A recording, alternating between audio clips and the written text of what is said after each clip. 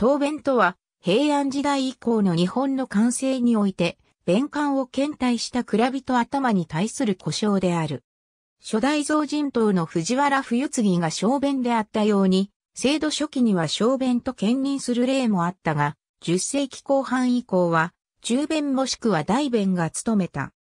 当弁は、この絵中将との検体である頭中将と並んで、務めることが多く、頭中将は、上流貴族出身者が務めたのに対し、当弁は、実務処理能力が重視された。藤原俊則の勘頭秘書には、頭中将は、近中万事を申し行い、当弁は、天下巨祭を失踪するとされ、頭中将は宮中における側近奉仕を担当し、当弁は天皇と大上官の間で政務に関する連絡を担当したと記されている。このため、朝廷や石棺化聖書において、実務官僚を務めた過重寺流、日野流などの藤原北家や高宗流平氏などの中級貴族の家系から排出され、後にこれが通例となった。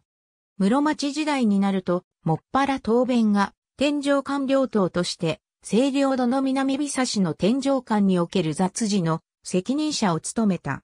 江戸時代に入ると、名家出身の弁官が五位蔵人を経て答弁に就任する昇進経路が確立されるようになった。林大輝、近世造人等に関する基礎的考察国学院大学国史学会、国史学217、2015年、海大書集、近世の蔵人頭について林、天皇近親と近世の朝廷2021年、P44 から46。ありがとうございます。